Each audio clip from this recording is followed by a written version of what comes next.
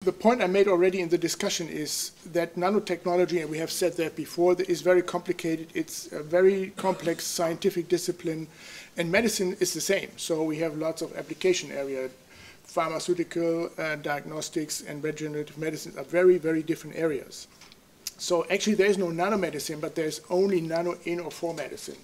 So nanomedicine is, or medicine, nano is only part of the story and we have to be aware of that. And that's what I meant when we discuss ethical questions. I think we have to discuss medicine and what nanotechnology can do to it. And that's, uh, that's what I made the point before.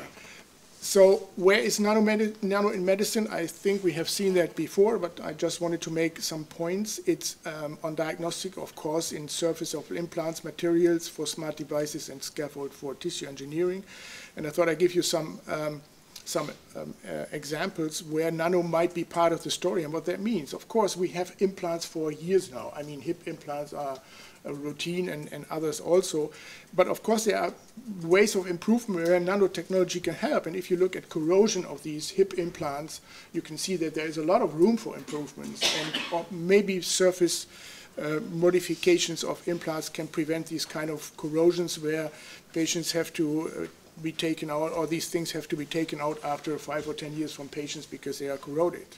Now, the ethical issues, of course, then you can ask, especially if you go to the first slide, how many parts can I exchange to be still the same person? So then we come to this enhancement idea uh, again. Um, this is, again, the question between medical treatment and enhancement, and he gave a wonderful example of uh, how pro problematic this is. But also the question is um, the high cost for nano implants to be balanced uh, by the cost of the health system. And this is a very, very interesting ethical question in this regard, where you keep replacing parts of the body. The question is, uh, how long can you do it? How much does it cost? And so on. Now, telemedicine is also an area where nano plays a lot of role. It's not only in the in the body where you can put all kinds of sensors which tell you if you are standing, lying, or walking, or whatever. And uh, think about the Google uh, initiative we heard about, where you have nanoparticles circulating in your blood, and your watch tells you from Google if you are sick or not, or what kind of uh, thing you have. So there is a lot of things happening, and there are, again, specific issues which you don't have with implants, of course. Control of data, how are they protected? Also, the communication between doctor and patient. I mean, you don't go to the doctor's office anymore. You, he gets your data and he sends you an email back and says, take three pills of this or that, or come to my office or go to the hospital. And that is, is changing quite a bit of course, the right to know and not to know. I mean, if your data uh, read out, uh, the question is, do you know, do you want to know all these side effects, which also might be in the data? I think a very important area or very big paradigm shift is that we more and more by better diagnosis go from treatment of clinical symptoms, so where you kind of feel sick uh, and have a diagnosis, then treatment and follow-up, we go more and more to preemptive medicine where you have a screening, early diagnosis, preventive medicine, and, and so on. So, you know, get looking at your uh, genome and predicting what kind of disease you might have in 10 years, or you take a biomarker which uh, circulates in your blood maybe with two uh, molecules per liter. And uh, then the question, of course, is how can you detect the biomarker, but when are you ill? I mean, the, the definition of disease is uh, a big issue which we face in the future because uh, being able to predict that you might get a, get a disease doesn't tell you anything because you might or might not get it. Uh, but even with the biomarker is also the question, uh, do you have to stay at home because your biomarker has been detected and you might get sick in, sick in, in whatever year? And what does your health insurance say to that? Of course, with all these predictions, the question of reliability uh, comes into place, and also, is there social pressure to undergo this screening? And uh, again, then of course, the right to know and not to know comes in uh, here really dramatically. very specific to medicine is that in the electronics business, you have a very um, straightforward value chain where science and technology kind of work together with industry. Then you have a product, and then you have it on the market. I mean, you have a change in TV uh, every two, three years, and you your mobile phones develop very fast. In medicine, it's very different. You have all these, you know, proof of concept trials, preclinical trials. You have to go through all this uh, before industry really takes over. So the question there is the question of translation. We heard already here uh, today about um, how can you make this step and what's happening in, in this bubble there and how can we cope with that. Here, of course, then is because it gets more and more expensive, uh, who pays for that? And then again, who has then access to it? Because if your health insurance does not pay it, who can afford these uh, new inventions? Um, that is, of course, a question of regulation versus company revenues. How many regulations can we put in place that companies still earn enough money to make new uh, developments? And uh, all this is also a very ethical and social question. And then, of course, the cost and benefit ratio for personal medicine. And there is another question, of course. Um, if you say, I think it was 70% don't react to medicine, what happens to the 70% if there is a medicine which has 30% but not the 70%? Are they then die because they, there's no medicine? Or does pharma then look for other treatments? Um, I don't know how this is um, really um, cared about. And that basically comes down to the question, is it a patient or a cost-driven system? Right now we have a cost-driven system. Uh, everything which is too expensive uh, will not be on the market or you have to pay yourself. And it's not asking um, well, it's asking to, to, to, a certain extent if it helps the patient, but this is not driving uh, actually what uh, innovation comes to the market. So I think we have to discuss these ethical issues in these different areas differently. Um, and then we also have to discuss medical needs versus risk of R&D. What I mean with that was the project you showed with the bubble, with the um, blood BBB, let's put it this way. I was asking myself, okay, you can do this in rats, you can do this in an artificial system, but will it ever have the chance to go to the clinic? Because yes, it has been done in Paris. Okay, but this is one of the questions which you would ask in these kind of things. Will it go to the clinic because it fits to the clinical routine? Do you find an industry which produces all these kind of equipment or whatever um, to justify all the animal assays uh, you do, because uh, if you, industry would tell you before, we never touch it because it's too complicated or whatever, you could not, you wouldn't have to do it unless you would do uh, basic research. It's not criticizing it, it's just the questions we try to answer with this new EU project where we try to establish an advisory board which kind of kind of soften the translation um, translation, what was it? Um, tragedy, that was the word. Uh, the translation tragedy, at least to some extent, because you get more information if translation makes sense or not. If you should make the first step into the first clinical trial, if you have enough characterized uh, your project for toxicity and all these kind of things, if you ask industry if it's producible or not, or clinicians, do we need it or not? So all these kind of questions are answered before. So then it helps you to make a decision, uh, do I go to clinical trials or don't I go to clinical trials? Um, then, of course, um, we also have to ask patients. Uh, we have to get a feeling if preemptive diagnostic makes sense, or if simply patients don't want it because they don't want to know it, and they don't. And you know, this breast uh, screening for women, a lot of women go, don't go there because they don't want to know it. Um, of course, health insurances also have to revise their cost models.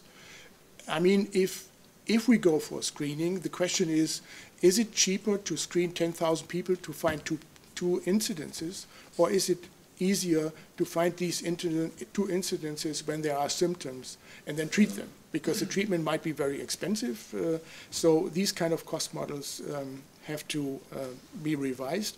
And of course, value change. I mean, you have your companion diagnostics, IT, biotech, nanotech, all these have to go together. And that changes the way different industries work together in, kind, in, in, in a certain way. And that, of course, also puts pressure on the regulators because they have to learn, because we get new um, kind of smart bullets, these uh, devices which are could be either uh, regime or could be either regulated in one or the other regime. And also, of course, the social security system has to adapt to the aging population anyway.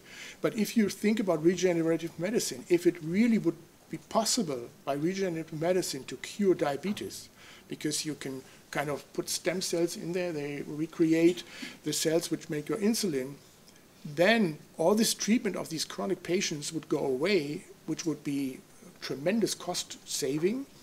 The question is how much money does it cost to, to put it there and, and how does the social uh, system cope with this because these people all of a sudden don't have all these secondary illnesses and so on. So in, in the, the consequence is that I think when you make all these, when you answer all these questions, when you have these things in mind, nanomedicine is a very nice test case for implementation of the responsible research and innovation approach, which has been already mentioned several times today. Um, because uh, here you have a new technology, you have uh, already experience in a lot of these biomedical ethical questions, so you can find kind of, you know what you are asking, you know uh, in what kind of regime you are. But I think then also you should be able to get the information you should be able to have courses like this, or you have to have uh, nearby some training sources who can actually give you information about what kind of questions there are, how you can treat them. And uh, of course, if we talk about funding agencies who require these kind of things, then they have to be, make sure that they bring the information, but also that the evaluation panels treat these questions in the right way. So uh, it doesn't, it's not like an ethics board, but somebody said, I want also somebody who I can talk to, so to figure out what kind of questions there are. So how do I have to react, and how do I have to kind of make my project uh, going to work? So I think what we need is a really a communication between all these different stakeholders. It's patients, healthcare providers, insurances, industry, academics, authorities, and regulators. So I think this is one of the lessons I have learned in all these discussions, also on the white paper of nanomedicine uh, we wrote with the ETP, that it has to be a communication uh, and a learning from each other among all these stakeholders because none of them alone can do this. And I think it has to start early uh, to see the consequences early enough and to think about them early enough. So maybe it's good to have another Nanomed roundtable. You were involved, and I think maybe it's time to have a follow-up to look at the ethical regulators, social, economic environment of nanomedicine because we have learned a lot. Several products are on the market, and we could actually then make kind of a comparison of maybe predictions we had five or ten years ago and what has happened in the meantime. Um, I also think we need these kind of roundtables, funded or not, um, with these different stakeholders. And um, then we might be able to come up with criteria actions to implement the research, uh, the responsible research and innovation principle in R&D projects. Um, I think it's a long way to go there because I'm also a little bit reluctant to kind of overburden scientists with these kind of things because it, need, it, it has to be a process that scientists learn to ask these questions, to cope with these questions, to understand the degree of or the level they have to cope with or they have to address. And so we cannot just say, okay, from 2015 we put these requirements on, on a proposal. Um, no, I think we first we have to get the information. We have to kind of have the discussions among each other to set the right criteria and the right structures and, and forms. And then, of course, um, that's what I said, is to have the right information and uh, like a translation advisory board, and then um, have the right criteria to improve this. That was all I wanted to say uh, at the moment. I think we had a wonderful discussion, and we can continue this discussion uh, for a little bit at least. Um, my message is, okay, I understand what has been said today, but I think not only the scientists are asked to cope with these and to, to discuss these questions, but there are other stakeholders who have to be included, who have to help, also have to learn, so that in the end we come up with an ethically and socially sound, sound development of nanomedicine in Europe. And I hope we will get there, and I think a, a workshop like this is fantastic for these kind of spreading the idea. Because if you go home now and tell these people what you have learned here and about these questions, you are kind of a multiplicator for these issues. And I think this is important because we have to um, bring these questions to the community. And we have not enough of these kind of uh, uh, um, workshops for the community where people get simply be aware of the questions and be aware of the ethical and social implications and thinking. And um, therefore, I'm very happy to be part of this. Thank you.